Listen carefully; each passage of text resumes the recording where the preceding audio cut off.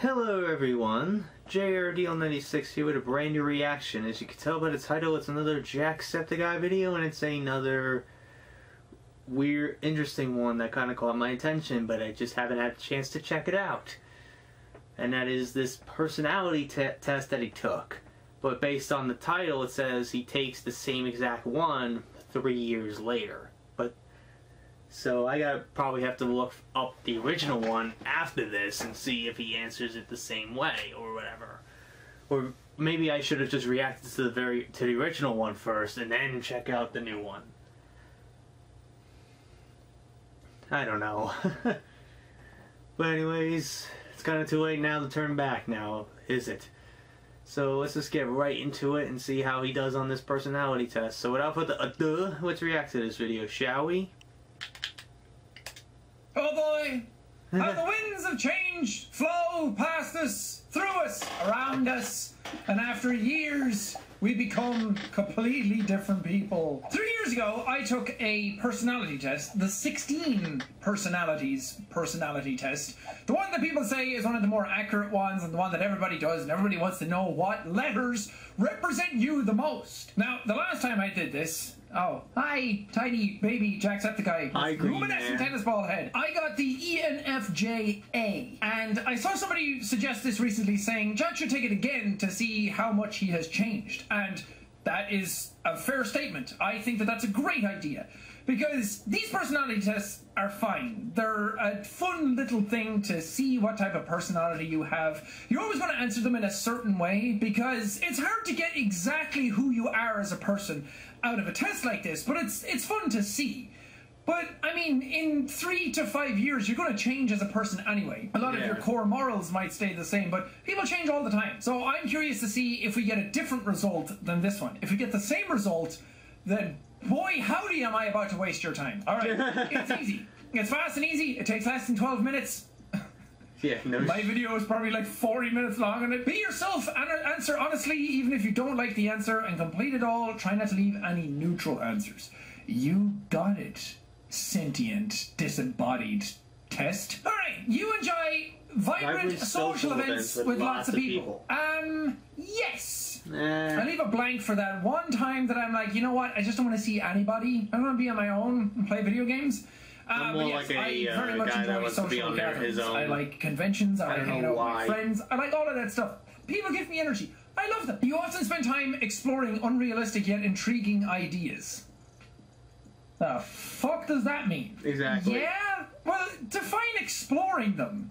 Is thinking about them, exploring them? I don't know. Or I sit there most times looking at the internet going, wow, I'd love to do something like that. So, I'd love to do yeah, something I with guess. him, like, Your or travel plans are more likely to look like a rough list of ideas than a detailed itinerary. Um, oh wait, are more likely to look like a rough list. No, I don't actually make that many travel plans.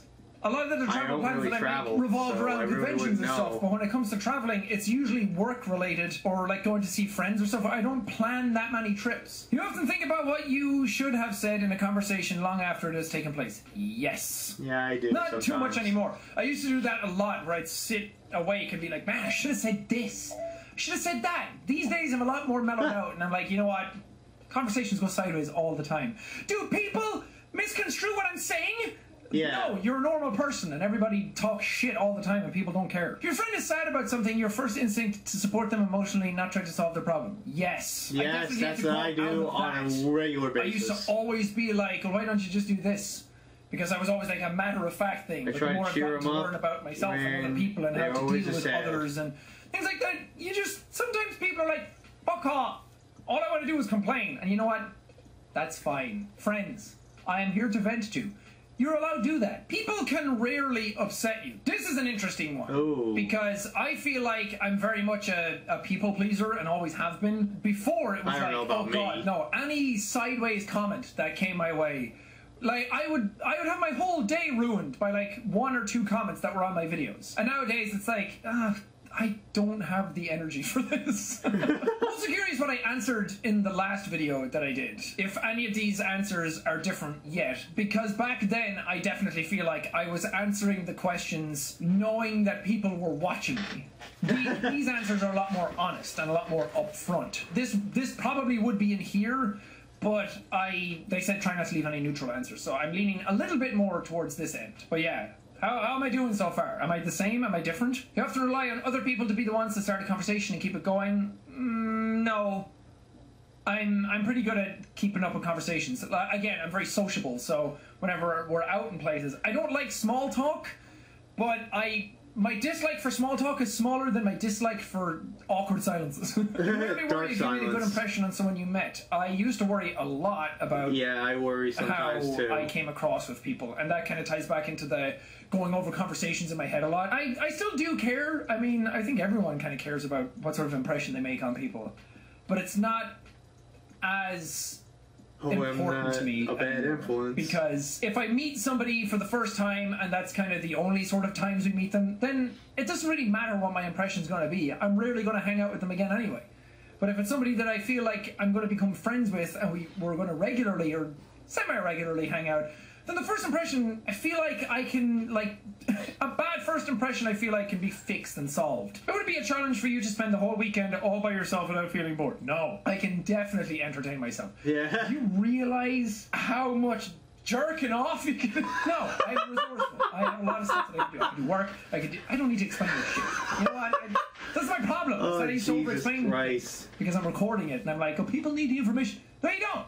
This is my answer. Fuck you. You are more of a detail-oriented than big picture, picture person. person. Uh, no, I'm not detail oriented at all. I like concepts. I like ideas. I like putting them into practice, but I do not meticulously do anything because I am garbage at that. Again, detail oriented work where you have to like sit down and be like, okay, do this and then do this and this and this. I'm terrible at that. My accountant fucking hates me because I can never get all the documents together on time. Whenever I'm working on stuff, I'm like, I'll do it when the when the feeling strikes me. You are very affectionate with people you care about. Yes. I am an incredibly emotional and empathetic person, and I share my feelings a lot. You have a careful and methodical approach to life. Uh, no. Not at all. I am all over the place. I mean, that's kind of the fun of it. I like the spontaneity of things. And again, the planning aspect of travel comes back to this, where I don't really like planning too far in advance Yeah, because I, I don't just like like, to trying see to what out. happens when it's happening because I like to flow through the energy of it rather than planning stuff too far ahead because then I have something in my head and it's like, oh, this thing is coming up and now I have to worry about this thing and I can't do anything between now and then because all I can do is today. Good example. Today, a package came where I got a cable that split one cable into two cables. It was coming at 4 p.m. I waited around from m- noon, waiting for this fucking thing to come. It wasn't going to come before then, but I sat around being like, no, I can't record yet. What if that comes? It's like, even if it came, he's just going to throw it over the fence. but I sat around, I'm like, no, this is a deadline that's in my head. I need to sit around and wait for this. Does that contradict me? Is that a methodical approach to life? I'd say that that's a clumsy, stupid approach because I could be getting so much more done. You were still bothered by the mistakes you made a long time ago. Uh, Uh, I mean, this is some- very heavily dependent on the mistake. Like, Yeah. if I fought with somebody or punched someone, I've never punched someone in my entire life. Not like in the face, in the arm or whatever, yeah. But those kinds of mistakes, yeah, if I like really hurt somebody, then I'm going to be bothered by that. But, like, I mean, no, I don't really have any mistakes in my head that I overly think about. there, Uh, there are no, things there's a that little I room wish for that error, you know. I There's always change. a couple of regrets, but not too much to like keep me up at night. At parties and similar events, you can mostly be found further away from the action. Uh, Yeah, yeah, most I like- likely. I'll be like like, the get stuck in- in the party. just talk to people and see what's going on. I rarely like hide away. You often find it difficult to relate to people who let their emotions guide them. Um, no. Do I? I don't know. This is a weird question. How am I going to answer this? You often find it difficult to relate Oh to God, people banana. who let their emotions guide them. Uh, no, because I let my emotions guide me a lot, so I'm not going to judge somebody else for doing that. Is it the smart decision? Who knows? it's where my heart is sailing. We're looking for a movie to watch. You can spend ages browsing the catalog. Yes, because Yeah. I don't get a lot of time. A lot of my time is spent making videos. Yeah, a lot I of don't time have is time spent to doing watch work stuff and emails and calls and all that shit. So I shouldn't say shit. People are going to be like, "Is he not enjoying his job?" but a lot of my time is spent doing it, and not a lot of time is spent doing like personal stuff. And when when it comes to the the evening, I like to pick out a movie, but I always want to make sure that I'm spending my time wisely with it. Because I don't want to put on a movie that I'm going to forget in five minutes or just not pay attention to or want to be on my phone during. So I, I spend a long time going through the movies to make sure that it's something that I'm actually going to want to watch. You can stay calm under a lot of pressure. I don't know about that for me. Yes. It depends on the pressure. If it's like a health related pressure, I, I sometimes freak out. Like, especially like now when everything's going on, like any sort of wheeze or cough is like, is this it? Is this the uh, big yeah. one? The big job? Oh, Am God, siren it? Are we head. Strapping in? But when it comes to like touring and that stuff, the pressure never got to me. I kind of reveled in it. So let's go with this one. When in a group of people you don't know, you have no problem jumping right into the conversation. Yep. I have no problems with that. I think that's one of my strengths as a person. One of my stronger traits in my personality is that I'm able to read people incredibly well. I'm able to read the energy and the dynamic of the group and the body language really well, where I can like blend into the conversation and kind of find out the base level of humor and then attach myself to that and go along with it. I'm very I'm very quick to pick up what's going on and not make things awkward. Of course, that doesn't happen every time, but I'm usually fairly good about that. I, I'm a very social person. When you sleep, your dreams tend to be bizarre and fantastical. Yes, Yeah, I dreamed that I fucking lot. die a lot. I had a dream that a cat came in last night and started fighting with BB, and that was the whole dream. And that's not fantastical. Mine's, but it is like, kind of weird as In your shit, opinion, I don't know how to it is describe sometimes them. okay to step on others to get ahead in life. No, I don't like that. Especially doing YouTube, you see people. Oh boy, imagine if I just dropped it all. What if I just dropped all the tea right now? This person's an asshole. This.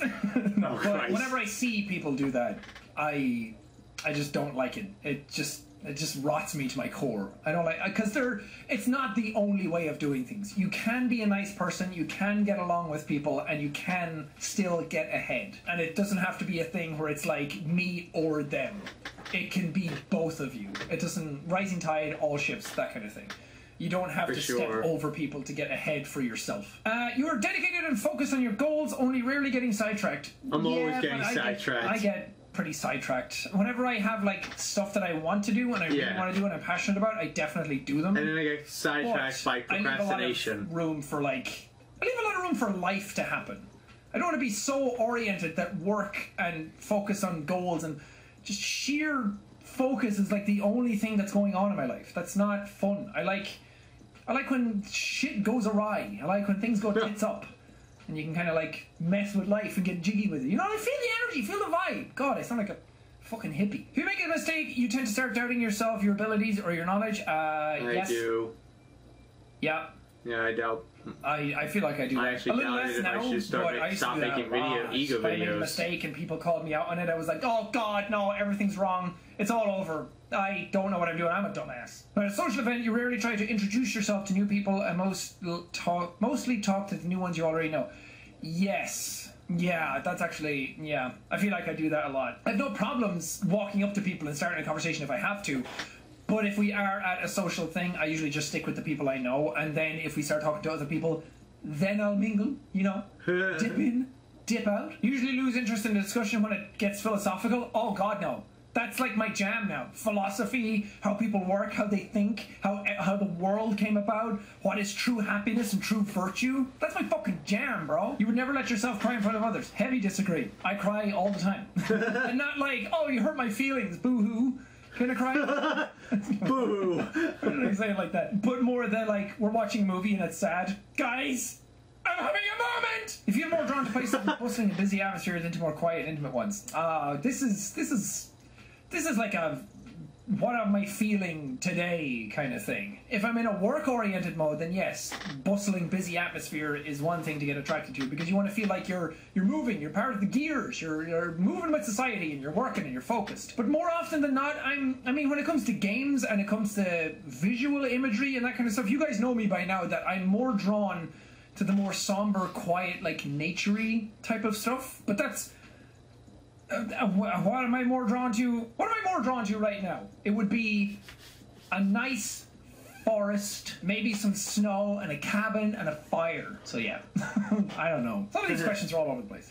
Anyway, when it comes to make life-changing choices, you, mostly, listen to your, heart, rather than your head. Oh, do Oh, I? boy. Yes. I was trying. I was trying to think like what was the most life-changing thing that I've probably done in recent memory. And moving here to Brighton and buying my own house was probably one. Oh, wow. And I definitely was listening to my heart more than my head That'd be because very I think I was able to. Difficult choice for him. Like, very is that could go wrong too soon, or is it Um, so I, the I best kind of went move, with my heart. the best decision you could Usually prefer to get your revenge rather than forgive. No, No.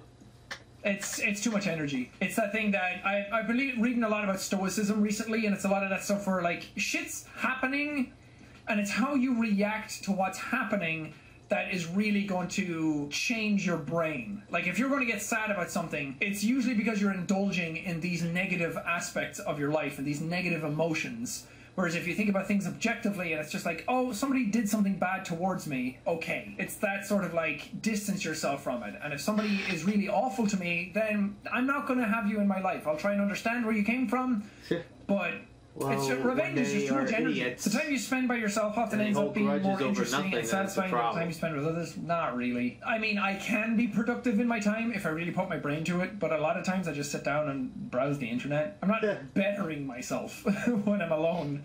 Most times, it's just kind of like sitting down, relaxing, and having fun, which I guess could be more interesting. Uh, yeah, let's go here. You tend to focus on present realities rather than future possibilities. Huh. Huh. No, no. I I do I look ahead. This is the thing about these questions is that some of them are phrased in a certain way, and then I answer it a certain way, and then I don't try now this one is answering. I'm like, wait, I feel like I look answered ahead. this I already. I do think about what's going on now, focus but I on like right thinking about like, oh, I have this thing that I want to do, and oh, I look at oh, coming it in the like, all these things are like moving, and I was like, a little bit, but in not so frequently. Where are video games going to be, and will I ever make a movie? Those kinds of things. You often have a You're hard time understanding in people's one. feelings. No, I feel like I'm pretty good at understanding why people act the way they act, just the way they take and why they're doing certain Sometimes things. I But trying to work in a question project, why prefer they have many to act decisions so up immature. No, I'm more of a like get stuck in and learn as we go type of person, and that's that's just- part of my problem. Is that I I'm meet other people like, who are really really? good have to act at like an the detail-oriented work me? and the focus Okay. to like get all the pillars in place before we start whereas i would literally just jump into the river and then learn how to swim for a lot of the stuff that i do uh, that's what I did with YouTube, and there is a quality to that, and I do like that about myself. But if there's like a time crunch or a financial crunch or something like that, that's not always the best way to go about something. But it also leads to me putting off a lot of the ideas that I have Oh. because I'm waiting for that like right spark to really ignite the fire, and then we That just jump in and burn to death together. when you know someone thinks highly of you, you also wonder how long it will it be until they become disappointed in you. To a certain degree, I used to care a lot more about that, and I'm very curious what I answered on this the last time I did this because I feel like it was a complete fucking lie. Well, depending, because I cared very much about this. So I, I always wondered about that. I still, sometimes I kind of do, hence this like wiggle room. If, if people don't like me, I've put in, I'm, I feel like I'm a decent person. I've put in the efforts to talk to people. If they don't like me after that, then maybe it's just not meant to be, and that's fine. You feel comfortable just walking up to someone you find interesting and striking up a conversation. Now, this depends on the person. Yeah, depend- Like, yeah, exactly. It depends on the person. Yes, but when I met Hideo Kojima, I was very nervous to go up and say something to him because of the language barrier and the translator and all that stuff, and I just. I I don't know. It depends on the person. But I'd say I've gotten better at it. It's just Depends yeah. on who. Well, I guess that was a different scenario because it was a language barrier more so than a more so than an understanding barrier. I what what's the term I'm looking for? You know what I mean? There was more to it. Even when you have a planned particular daily routine, you usually just end up doing what you feel like at any given moment. Yeah, that's I, definitely I me. sometimes write down a bunch of games. Sometimes I plan, like, try, okay, I'll like, do this, I and then I'm like, Every time I do it, do the next day I wake up and I'm like, okay, what did I write I down for a quote? And then all of them bit. I'm like, I don't want to do that. I, I'm being very good about it lately because any sort of idea that comes to my head, I'm being better about just doing whatever the fuck I want instead of worrying about all these other factors. I'm like, if it's a if it's a halfway tangible idea, just go for it, do it, whatever, and then see what happens. But a lot of times it's just like whatever's happening, here we go. You find it easy to empathize with a person who has gone through something you never have. Yes, again, I'm very good at like feeling the energy from another person and like bonding with that. Even if it's something that I have never gone through, I can usually get myself to a place where I can sort of figure it out. Your emotions control you more than you control them. Not anymore, because I understand them more. I, again, like the stoic philosophy of just like it is it is what it is. what it is. You still honor the commitments you have made even if you have a change of heart. No. And that's another thing that I've gotten better at as well is just saying no to things. Because before it was the idea of, well, if if I say no to this, then people might stop asking me to hang out. Whereas now it's like, no, I don't feel well, or I'm busy, or I just got other shit going on, or I just don't feel like it. And that's, again, completely fine. You rarely feel insecure. Um, these days, yeah, rarely. Again, this will be interesting to see what I wrote in the last one, uh, because back then I was definitely insecure. this is interesting. It's interesting to see how my brain has shifted to some of these. I'm still kind of over explaining some of them, but that's only because I'm recording and I feel like people will poke further, and I'm like, hey, just this is what I'm thinking right now. But no, I don't feel that in, every now and then, but not as much as I used to. I used to be very insecure about what I said and how people perceived me and whatnot. It's whatever. I'm 30. I've I've lived a pretty cool life so far, and I've done a lot of cool shit. I'm fairly happy with what I've done, and right now everything after this is just icing on the cake, and I'm just having fun with it. Oh my god, did I get the exact same answer? That was the exact same as last time. Oh no, that was ENFJA. This is ENFPA. I don't know what that means. I'm more extroverted than introverted. Yes, I'm more intuitive than observant. 69. What up, bro? Yeah, I. A lot of the stuff with me is like I'm not. I'm smart about certain things and I'm observant about a lot of things, but not not the stuff that would. It's more like street smarts than it is like actual like math and shit. And I'm more of a go with the flow and have fun type of person than I am like a figure everything out and be smarter than everybody else. yeah, feeling rather than thinking. Uh, prospecting rather than judging. The straight reflects your approach. 69 again. And, uh, okay. Uh, assertive or turbulent. Trait underpins all others. My identity. What was it last time? It was 70% absurd. Uh, obser- er, assertive last time. I was 61% judging last time. That 69 again. I was 76% feeling last time.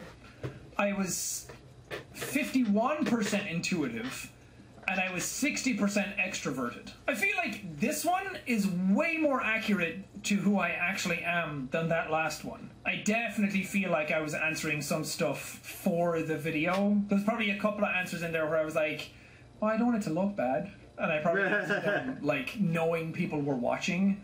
I think this one was a lot more honest. The campaigner personality is a true free spirit. They are often the life of the party, but unlike types in the Explorer role group, campaigners are less interested in the sheer excitement and pleasure of the moment than they are in enjoying the social and emotional connections they make with others. Very interesting. Charming, independent, energetic, and compassionate.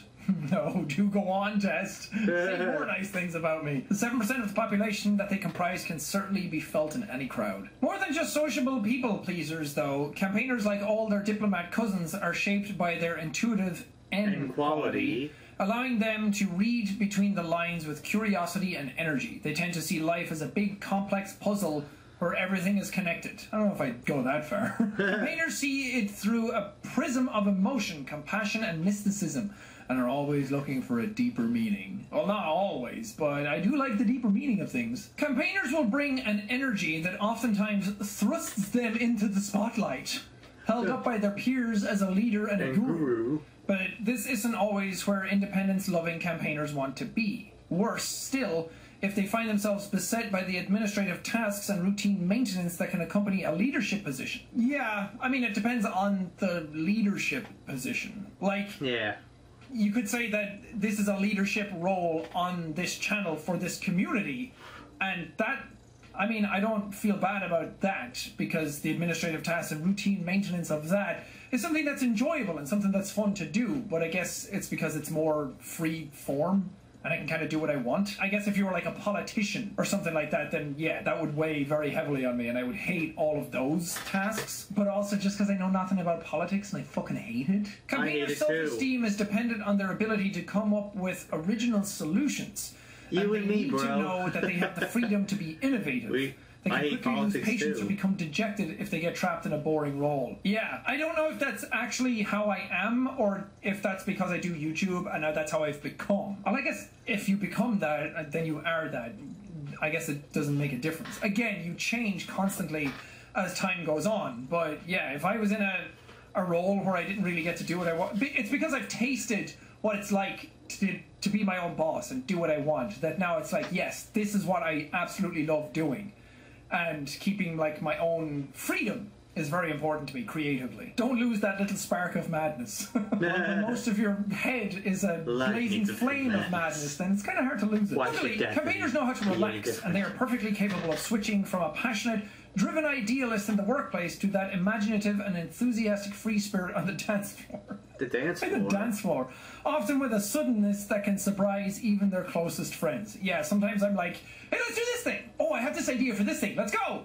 And then everyone else is like, "Well, you didn't. You've never mentioned this before." Your personality type needs to be careful, however. If they rely too much on their intuition, assume or anticipate too much about a friend's motivations, they can misread the signals and frustrate plans that a more straightforward approach would have made simple. Yup that can definitely happen, especially if we if we have to go do a thing. Like if something has to be done. For me, I'm very bad about putting off all of the details of it for a long time. Or if we just want to plan like a day where we take a day off to do something, I'm I'm just bad at getting that across because I just like live in the moment and it's like, hey, now is good. Campaigners will spend a lot of time exploring social relationships, feelings, and ideas before they find something that really rings true. But when they finally do find their place in the world, their imagination, empathy, and courage are likely to produce incredible results. Wow, that's what YouTube was for me. For a long time, I had no idea what I was doing, and I was exploring all these other options, and no one ever understood like video games the way I wanted to be understood. And I always felt like a really weird person and an outcast and an outsider, and nobody liked things the way I did, and I was a weirdo. Um, so my social relationships always suffered from that. But finding YouTube and finding like-minded people who would come, because if you're uploading stuff that you're interested in, people who are interested in what you're interested in are going to find it, and then you're going to share a lot of the same sort of mindsets, I believe. So it took a long time for me to find those relationships and feelings and ideas before I really started to understand who I am and felt comfortable in who I am. And that really only started happening in the last couple of years. And I feel like right now I'm the happiest, most confident, most secure I've ever been. There's always a little work to go, and I'm sure when I'm 40, I'd be like, no, I didn't know anything. But right now, compared to who I was at existential- 25, 26, 27, crisis. I feel like I'm much better. And I went through a phase of worrying that, oh, I'm too loud in my videos and people are kind of annoyed with that and I want to change my content. But now I'm like, no, just do whatever you're good at, man. Pe- people like that. Put put your energy back into it and have fun with it and like just crack jokes and do whatever you want. I don't I don't need to be the best at video games. I don't need to be the best at what I'm doing and I don't need to be extremely skilled at it, but I can definitely have a lot of fun doing it. And I feel like that that's what my strength is. I definitely and lately, agree. I don't know if any of you have noticed, but over the last couple of weeks, I I just sat down and I was like, you know what, fuck this. I'm just going to do whatever I want and really have fun with it again. And like talk to Robin about the editing, and I was like, we need to just we need to just do whatever we want and have fun with it.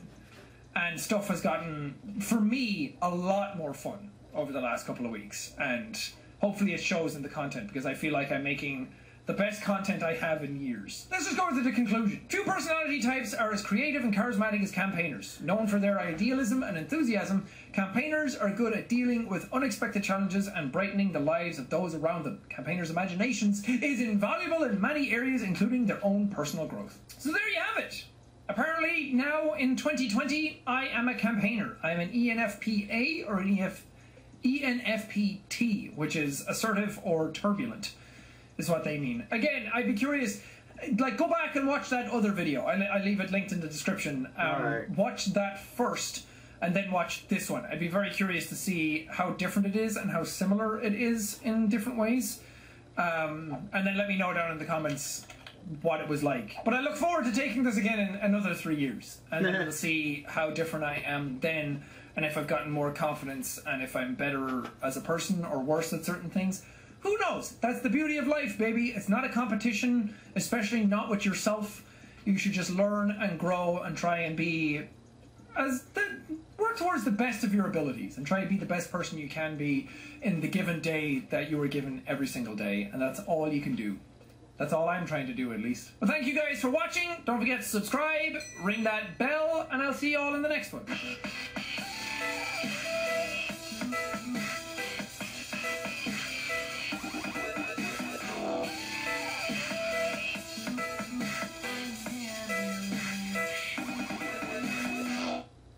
Okay. Okay, there it is. That's it. So that was pretty interesting. So he's a campaigner now. While in the very first one, he was a protagonist. And obviously, a lot has changed. Obviously, over time, you're going to change throughout the years. Your personality is going to change and everything, so. It's no surprise that he obviously has evolved into the person that he is now. Like me, I'm kind of, I think I'm kind of introverted a little. I tend to be usually alone a lot, so I don't know what it is with me, but that that's unfortunately how I am. I'm always probably like the like I'll probably always be that one guy that's always out in like you know in those you know parties. I'll be always like that one outcast. I'll be that one guy and out all alone while everybody else is together. It's like yeah, I'm I'm that person. And when it comes to like someone who's upset, I'm usually I I always try to cheer them up as much as I can, to the best as I can. I always try to cheer them up and try to put them put a smile on their face by telling them that they're an amazing person, etc. You know, I've I've dealt with it a lot. I deal with it a lot. And it ain't it ain't a uh, stressful thing to deal with, but it's like I think you know soothing to do. It's as weird as it sounds. One day I will take I will take this test for myself. Like uh, there are some some of the questions I kind of don't understand, so I really really would need to look into that at some point in the future. But I don't know when I'll ever fucking take that. But it's interesting to see him, like you know, obviously he, say that he obviously changed from the previous test that he took. So there's that. I might check out the original one he did. I, I, might. I don't know if I will.